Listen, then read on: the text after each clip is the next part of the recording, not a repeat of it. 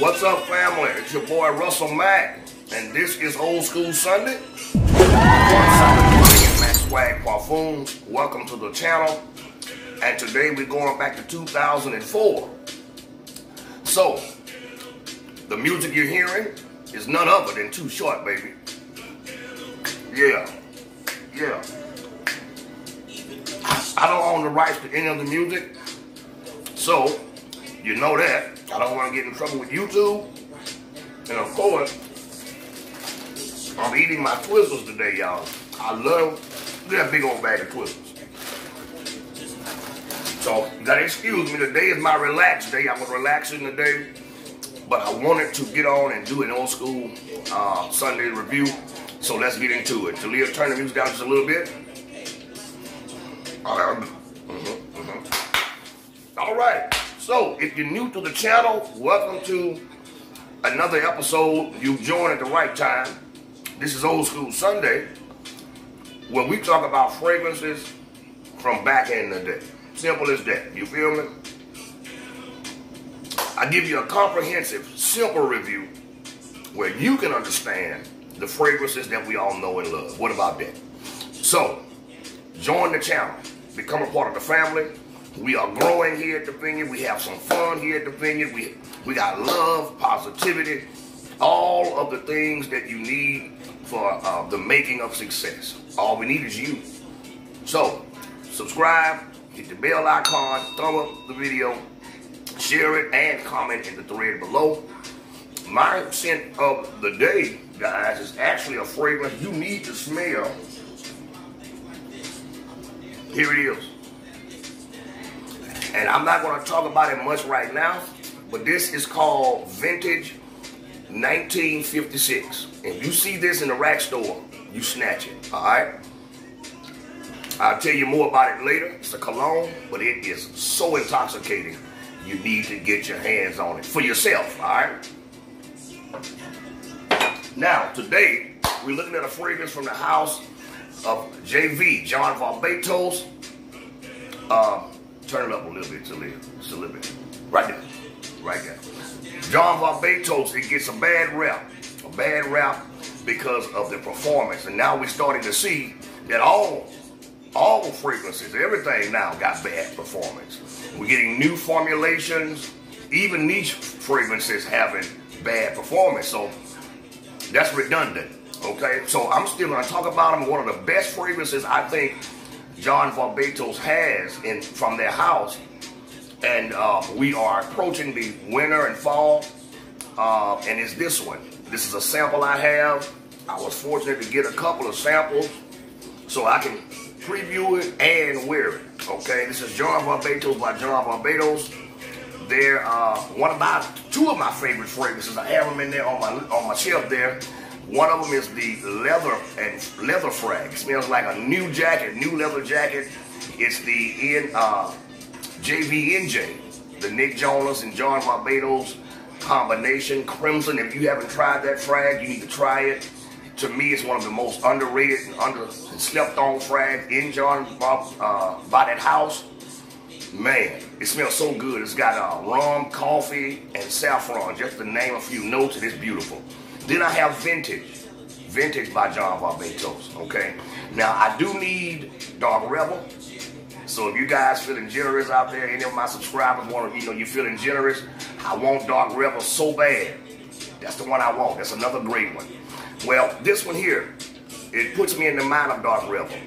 Only Dark Rebel is a lot more spicy. This one here was released in uh, 2004.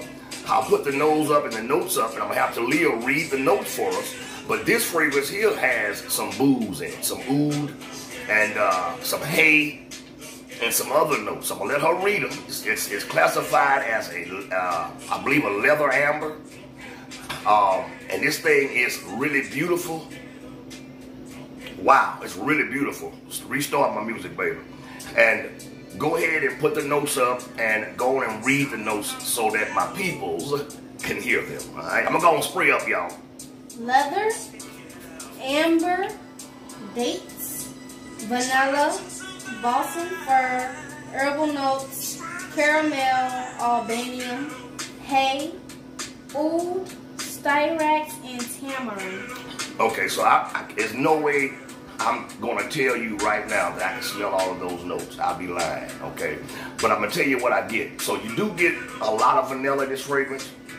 You get a spicy opening. You have this kind of a synthetic twinge in the opening. But what you mainly get here is a, is a beautiful vanillic amber leather fragrance. You get that really strong leather opening with vanilla and the caramel note and a bunch of herbal notes. You get these resins and balsamics in the dry down.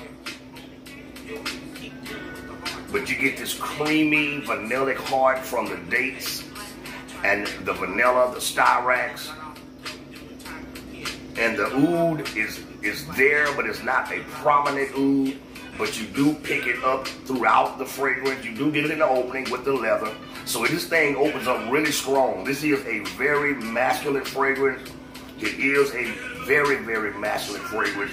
You won't mistake it for a unisex. I can guarantee you that it, it has a warm, spicy uh, depth to it or quality to it. It has body. And I am shocked that this fragrance uh, is not talked about more. Maybe because it's not winter yet, but as we approach the fall and winter season, we're going to start seeing fragrances like this more readily uh, available, and people will be reviewers will be talking about them more. This puts me in the mind. It's in the family of uh, Jazz Club by Replica and Maison Mar- Margiela. It's, like that. It puts me in the mind of Issey Miyake. Uh, it's I think it's called Noir Argent. Okay, I need to review that one. I still have a sample of that, a decant of that. It's in that family. It has this creamy, vanilla, amber, woody, herbal, and herbaceous, if you will. Spicy and warm. It's it's a it's a really nice masculine fragrance. It has some some complexity to it. And you know, it's one I wouldn't sleep on. The oud is not a skanky oud. It's blended very well. Uh, the nose there is a nose that's well known. Um, so I'm not surprised by the way that this one is blended. Now, I know all about their performance, but this one here, I sprayed it this morning when I got up and I've washed my hands several times throughout the day, and guess what? I have still been picking up the the ambery scent from this fragrance. And that's amazing considering I washed my hands with soap and sanitizer, might I add and I still can smell it. So it's one I would say if you run across it, you may can find it in the rack stores, but I, I doubt it. This is not one that I see often. You know, I will say on your fragrance discounters, you can get your hand on this bad boy, and you you see the bottle up there too. I know I'm late in the game by telling you that, but the bottle has been up. You see, it's a beautiful black bottle. It's like the John Varvatos bottles you used to see. You know, it has that black netty net look uh, around a weaved basket around it, which is silver writing. It's a nice uh, presentation for a nice, heavy winter falls fragrance that's masculine, somewhat mass appealing, deep and dark and sensual. And uh, I can see men over 40, well, 35 and up, rocking this fragrance. As it dries down, you get more of this almost boozy quality. Although there's not much, you know, booze in it, but it does give off a boozy kind of element, if you will. Now, for those of you who may have smelled this, you know exactly what I'm talking about. And this, this is a nice fragrance. So, I want to talk about something from a house that don't get much love today so I thought, since I had these samples, why not talk about John Varvatos? Um, this is a room filler. Okay, you want to get three to two to three feet projection in the opening, so people will smell you. All right, three to four hours, maybe five. All right, of, of strong performance from this kind of fragrance. I love the caramel and hay and dates that's in this. It really gives this a unique smell. Wow. Uh, 18 79 hours, I would say, you can get out of this fragrance, okay? Sophisticated, classy, masculine fragrance that I don't think you can go wrong with if you try it, okay? So guys, that's my take on it. I didn't want to hold you too long. Uh, thank you guys so much for the growth and success that this channel is now having. We're having some really good success in our analytics, and I am so happy. I'm so proud. I don't know what to do with myself sometimes. I love you guys so much for what you do for your boy. You, you feel me? And now you know what? I feel the love. And I thank you so much for it. So I'm going to get back to relaxing, guys. Got a big old bacon cheeseburger waiting on me. My girl just got home. so I'm finna go and finish relaxing. Thank you guys for stopping by for another review. I'll see you soon. Uh, right here, same place, with your brother, Mr. Russell Mack, the OG. Take care, family. God bless you. Have a great Sunday evening. Peace. All right, all right, all right. Okay.